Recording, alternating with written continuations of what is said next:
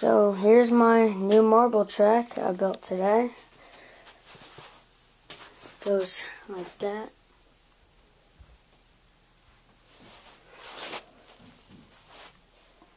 And over there, around, and down, and it ends here. Here it goes.